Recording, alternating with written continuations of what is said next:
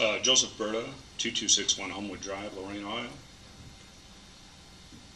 Uh, we purchased the building back in 2006 to be uh, an internet holding facility for salvage vehicle pool and auction, which got monopolized back then.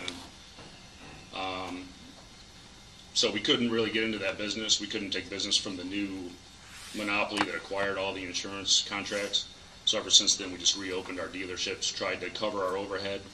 Uh, we put the building back up for sale within, I think, two or three months of buying it because we knew we couldn't handle it. And we haven't had any luck, kept reducing the price.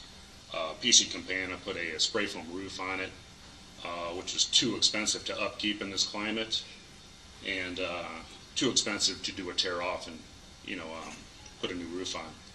Uh, since then, our business evolved into a part sale business. Vehicle sales were down.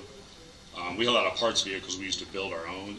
We were getting more calls for parts, and therefore we evolved into an automotive recycling business. Um, it's still not enough to sustain the overhead to upkeep the building.